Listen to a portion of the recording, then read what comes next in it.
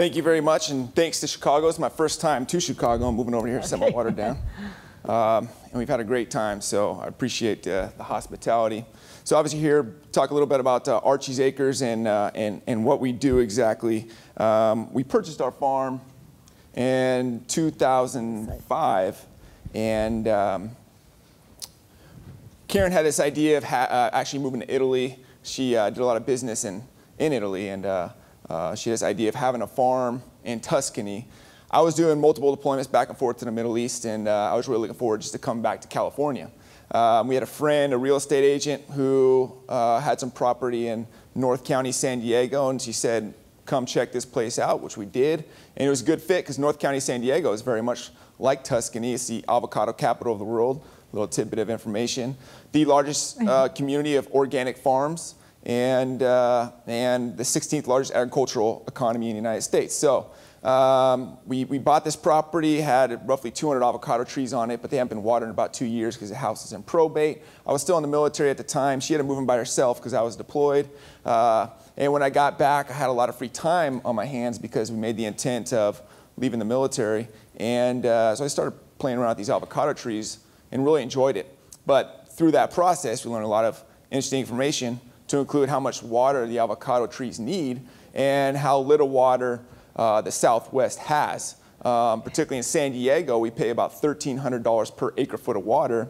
Uh, you may not understand what acre foot is, but in comparison, growers closer to the Colorado River pay about $20 per acre foot, and other parts of the United States pay about 5 to $10 an acre foot. So we pay anywhere of excess 100% more for water. Um, and so that drove a lot of our thinking, particularly being that uh, being a military family and uh, global instability and so forth. And so what we did is we incorporated hydroponics and greenhouses into uh, our crop production methods, which is about 90% more water efficient. Uh, by taking the crop out of soil, you eliminate about 70% of um, problems from pests and, and, diseases, which means less of emphasis needed on uh, pesticides and herbicides and so forth. Um, we also incorporated certified organic techniques. And so the only thing we need now to control pests are, are ladybugs and lacewings and so forth. So, um, and we kind of grew this idea. Um, but again, it's really influenced a lot of our decision making when we started really understanding the water situation. What you see here is a, a global map of water scarcity. Um, you can see the entire southwest of the United States, which is the largest agricultural sector in the world, is very scarce on water right now, as, as, as well as the uh, parts of the East Coast. And then obviously North Africa and the Middle East and so forth. Um, very scarce on water. So what does that mean when you're scarce on water? You're also scarce on food, and you're also scarce on energy. And what we find is, again, here's a scarcity of food. And, but I think if, if you looked at uh, Egypt today, and this map's a little bit old, that you'd find it's even more uh, scarce than is shown in this map, places like Tunisia as well. Um, but what you find is uh, there's a correlation between areas that lack food and areas that are high in violence. In fact, uh, if the whole, whole uh, Arab Spring was started by a, a, a farmer's market vendor in Tunisia who was having a hard time uh, getting products to sell because of 10% rise in global food prices. And obviously the, the government in Tunisia is very corrupt. So uh, uh, a government representative came down to this vendor asking for a bribe. He said, I don't have anything. They spilt his, his vendor cart over and, and spit on him and this and that. Uh, the next day, he went down to the government building, set himself on fire, and Tunisia uh, erupted, followed by Egypt, now Libya, and so forth. And so again, I'm just trying to call, draw a correlation between uh, violence and a lack of food, and a lack of food due to lack of water and so forth. Um, and then again, Iraq, Afghanistan, uh, North Korea, and so forth, all areas that have lack of uh, availability of, of food and that we hear about all the time. Again, the Wall Street Journal talking about the anti-government protests are 100% related to the 10% rise in, in global food prices, and that not only us, Karen and I, but economists see this relationship between rising cost of food and uh, growing uh, uh, global insecurity. But we can really bring this at home, and, and what you see here is a map of uh, southwest LA, city of Inglewood. If you don't know Inglewood, it's not known to be the safest streets in the world. Um, and what the flags are is areas that are known for uh, vendors of good food. So what you see those flags are like Whole Foods and Trader Joe's. You see there's actually none in the city of Inglewood itself. And you can't blame these companies because it's a poor neighborhood and they need to go to more affluent communities that can afford uh, the better food. But what you see here is the access to liquor and, and fast food. And as you go further into Los Angeles, Compton, East LA, you see that gets more denser of fast food and, and alcohol. And you move out west where the more affluent communities is, you see those, uh, those numbers start to fall. So again, even domestically, I think we can see a relationship between the access of good food and, uh, and, and high uh, crime rates and so forth. So, I mean, what's the answer? Do we force Whole Foods to build a, a store in Inglewood? Well, no, of course not. We're not going to be able to change those dynamics, but what we can change is where that food's produced and how hydroponics can affect that, being that we take the crop out of soil and so forth, and, uh, and we think we can, um, you know, what comes first, the chicken or the egg?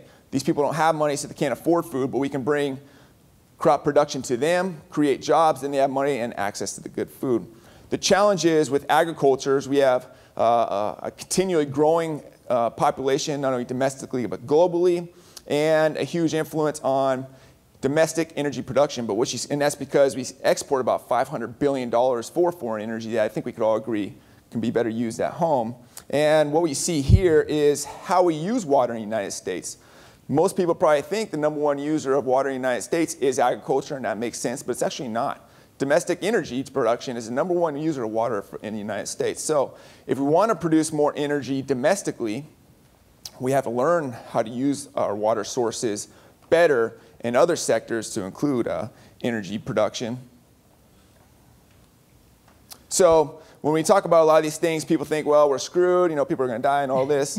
um, but we really think about that is great market opportunities, right? I mean, we, we've we're using technology that's 90% more water efficient. And what you see here is a, uh, a map of actually how we use irrigation in the United States. You see gravity acres, meaning flood irrigation. That's where you take your entire lot of land and flood the whole thing. Very water inefficient, still widely used. Sprinklers, the widest used method of irrigation, but a lot of that water doesn't even hit the ground, just turns to vapor, and we lose the water due to uh, uh, vapor loss and so forth. Um, drip and micro irrigation, much more water efficient than any of these methods, and you see how much of it we don't use. Very small portion of growers in the United States use drip and micro irrigation. And then hydroponics and greenhouse production isn't even on the radar. So there's plenty of opportunity where we can uh, use water more efficiently, produce food, uh, better food for a global, uh, gro continued growing global population, and, and, and tap into uh, a great market. The food and fiber industry is a $1.3 trillion industry in the United States. Most people don't think of the United States as an agricultural economy, but just go down to Washington, D.C., and if you look at the architecture down there, it all resembles, uh, for instance, the large columns made out of marble. If you look closely, the corn stalks tied together. That's what they're actually shaped to be. Tobacco leaves and so forth. So we're very much still an agricultural economy. The organic food market continues to grow at a rate of 10%. And you think in this economy, being that it's a premium price for organic food, um, people wouldn't be spending that money on it. But what, they, what we think they're doing is actually uh, spending more on food and less on healthcare. Um, and our exports for agriculture is great. We have about $110 billion surplus in agricultural exports, and we're continuing to see those rise. And then you can see uh, the growing global population and estimates of where the population is going to be in the near future. What that means to a grower is market potential, because that's more customers that we get to feed. Jim Rogers, you may know about him. He's a very successful investor. Uh, Time Magazine just did an article on him. And the title of that magazine is If You Want to Make More Money Than a Banker, Become a Farmer. Again, it's a great time to get into the market because of growing, uh, growing uh, food prices and the need for more uh, food production. Two thirds of the growers are reaching retirement age in the United States. There's really nobody taking those, uh, taking those places. What we think we did is uh, develop the um, Xbox of agriculture and it's going to appeal to younger people. So what we, the other emphasis is, again, being that we're a military family, is you look at these guys here, and basically what we're asking them to do right now, these, these Marines in this picture, one of which the, the, the, the gentleman at the bottom there is flipping us off, James, Terry James, he's actually a Chicago resident, and uh, he, he, he would make Chicago proud if you see him in, in actions. But what we're asking these guys to do, go spend two years in Iraq or Afghanistan on and off, and come back and start at the bottom of the food chain again. go find a minimum job if you're lucky. We spend roughly a million dollars in everybody we deploy, but we lose that investment when we come back because there's 300,000 homeless vets on the streets and so forth. Um, and so, Sergeant Vlasic, a scout sniper with my platoon, are we going to ask this guy with all these talents, with all this money invested, to come back to the United States and, and work a minimum wage job? Is that what we're offering?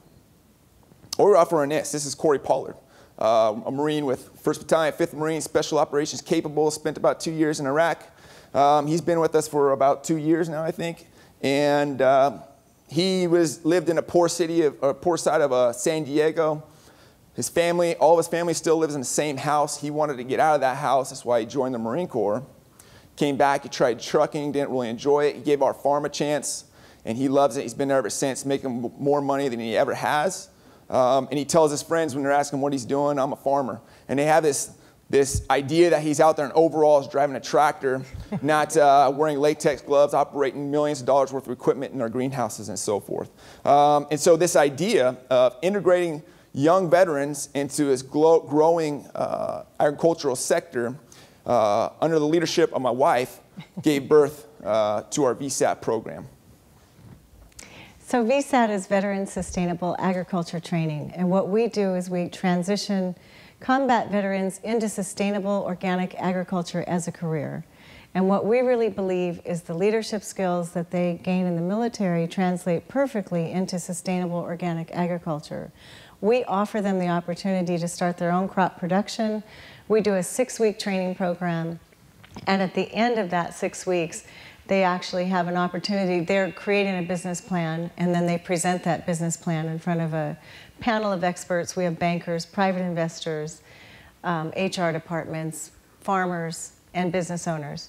And they're able to um, they're able to take their business plan, present it. We have people that step up and offer opportunities. I know we're nearly out of time. I'm going to end with a story. We had a nine-year recon Marine that joined us in January. He um, had been, you know, highly, highly decorated. He transitioned out of the military and found himself homeless for nearly two years. We met him at an Earth Day, um, an Earth Day event, and he actually came up, couldn't believe that we had veterans and sustainable in the same sentence. We talked him into taking the program. He had a very difficult time with the idea of being anywhere for six weeks. And what he did was he actually ended up creating the business plan for a hot sauce. He was thinking he's homeless, he doesn't have land, he doesn't have money, so he created something that he figured he could manage. So he created a hot sauce um, out of superfoods.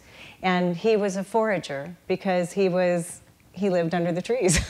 so he foraged for his own food. And so that is Mike from Forager Mike's Superfoods. He actually created that business plan. He presented it. One of the private investors stepped up and said, This is amazing. That's delicious. I'm going to do it. And so it's a raw, organic hot sauce. Mike looked at him and said, Are you crazy? I don't have any means to do this. And the investor said, You know what? I get it. I get it, and I get you. And that investor stepped up. Mike owns 75% of his company. The investor owns 25% of the company. It's being bottled at a, a, certified organic plant in Temecula. And that is launching on the shelves in Whole Foods nationally on November 10th of this year. And so what we really believe as we come you know, to the close of our, our presentation, we really believe that, that you know, the Veteran Sustainable Agriculture Training is our way to reach back to our transitioning military, and it was, it was my husband's way to continue to serve. And so um, if you want to help, I mean, this is how you can help. You know, look for the VSAT graduate logo. You know, if you see a product that comes out with that, you're helping when you make that purchase. And, you know, you can sponsor a veteran through a scholarship. Um, we're vet leasing. We're just about to expand. We're going to be expanding out to five different locations in the next year, Washington, D.C., Boston, um, Florida, uh, Northern California in Los Angeles and then also um, further north. But thank you for having us today, and I, I know we're out of time. so. Okay.